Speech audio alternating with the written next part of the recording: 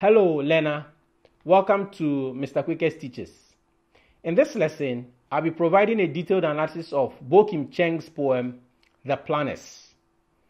I'll speak about the themes, the figure of speech, the point of view, the poet's tone, language, the structure, poetic devices, rhyme scheme, you know, essentially the stylistic devices that Cheng uses to present his, present his irritation with a group of city authorities that he refers to as the planners. So essentially, I'll try to prepare you for any kind of question that may be thrown to you, either if you're writing the GCSE or IGCSE or any other exam where you'll be examined on the poem The Planners.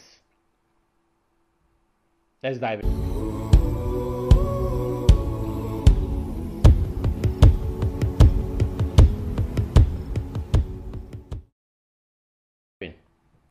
Now, let's begin by speaking about the poet Boey Kim Cheng. He was born in 1965. He's a Singaporean Australian poet, so he's of dual nationality. He's a very well accomplished writer and has won an array of literary awards, including the National University of Singapore Poetry Writing Stroke Creative Prose Competition, the National Arts Council's Young Artist Award in 1996, among others. He has also taught in Australian and Singaporean universities. Now, in this poem, The Planners, this is how the poem appears, is um, three stanza poem, um, free verse poem. But then, if you observe, the poem appears haphazard on the page, and I'm going to explain some of these points in the elements of literature portion of the analysis for Boey Kim Cheng. So please um, remember to look at both um, analysis. And I also want to read an a, few GCSE or IGCSE style questions so that you begin to think about the questions before we begin. So, uh, one of the qu- questions, for example, is How does Cheng powerfully convey his attitude to the planners in this poem? That's a question from 2017. And then another question is How does Cheng create such disturbing impressions of the city in the Planners? So, that's a more recent poem, 2023. So, these are questions that can be thrown at you. And if you look at the course, as part of the course, there are IGCSE style questions, very good questions, A star quality that you can draw inspiration from and maybe modify and make it your own.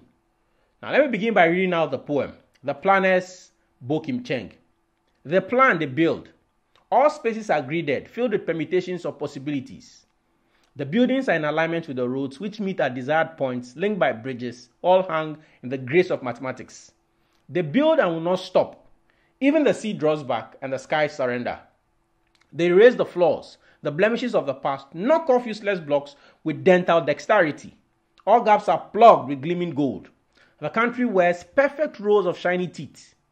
Anesthesia, amnesia, hypnosis. They have the means. They have it all so it will not hurt. So history is new again.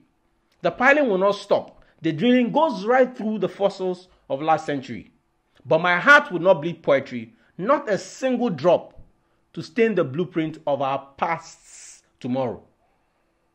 So we when you observe the very first thing we see in the poem is that Cheng opens the poem with two two worded short sentences. The plan is the first sentence and then the build is the second. His revelation brings into focus two actions that have already been taken by a group that he refers to with a third person plural pronoun they which shows that he's separate from them. So they, he's not part of them. He's not one of them. That's the first thing that we see that Cheng uses. And I'm going to talk about more of the, the, the usefulness or the effect that's created by the short, short sentences. The first action, that's the group's first action plan, implies that they take their time, are systematic in creating designs, and are organized. Plan also presents the group as a bunch of schemers that come up with building concepts in secret. Now let's look at his use of repetition, the repetition of day twice in the first two sentences. Cheng's repetition of day twice in the first line emphasizes the twin action, so there are two actions of the planners. The actions go together. And suggests that they, are, they, are, they can be found everywhere and are relentless. So the planners can be found everywhere. They also create the impression that Cheng is pointing from a distance with disdain at the group. Furthermore, Cheng's repetition of day in the opening two sentences of the poem also suggests that he is unhappy and irritated by their actions and wants to bring them under the reader's spotlight. So one of the things you, you, you should pay attention to is Cheng's tone as he speaks about the actions or the activities of the planners. He's irritated, he's angry. I mean, the final stanza is defiant, but then he caricatures them. He's, you know, he's not happy with the, what they are doing. Now, let's look at the explanation for the use of short sentences. So we see the use of repetition day. Then we also see the use of short sentences as well. His use of two short sentences, they plan, full stop, they build, full stop. Those are the two short sentences. In quick succession, also quickens the action that is being carried out by the group and creates the impression that there's a short time between when they plan and when they carry out their second action, which is to build. So that's the effect that a short sentence creates. Bill tells that they put up a structure. So he wants us to know that they put up a structure. That is, they take steps to construct the structure that they have in their plan. This detail shows that they are not wishful thinkers, but determinedly carry out their plans to a logical conclu- conclusion. So immediately they plan, they look for a way to build it. The poet begins the third sentence of the of the first line with all which indicates an absolute. So it indicates that absolute, all. There is no part of the place that is left bare. All indicates an absolute. While the phrase all spaces shows that no area or plot of ground is left untouched by the urban sprawl, urbanization, and gentrification that is being undertaken in the setting. So those are the themes as well. So the theme of urban, um, urban sprawl, the spread of the city, urbanization, you know, modernization, gentrification. Some of the areas are being modernized, and then the traditional people who live there are pushed out because they cannot pay the rent or cannot buy food from the shop. So I think that's also an idea that Cheng presents when he says all spaces are gridded. So gentrification that has been undertaken in the setting, that is, no piece of land is exempt from the construction works that is being undertaken by the planners. Additionally, all spaces shows that the nooks and crannies of the setting are being reconstructed. While the last word of the line, gridded, suggests that every part of the setting has already been marked out for future construction works. So it's only a matter of time before the plan for which it was gridded physically manifests. So we see here that every space has been gridded, marked out. Gridded also reveals that every plot of ground has been visibly marked off. So if you go to the setting, he wants us to have that mental image that when you go to the setting, you can see clearly that it's been gridded with grid markers that signal the imminence, so very soon, of a future construction work. The expression all spaces are gridded also suggests that no parcel of land or ground is left virgin or in its natural state that is, with untamed grass, bushes, or trees. Neither has any place been left fallow, empty, or in its natural state.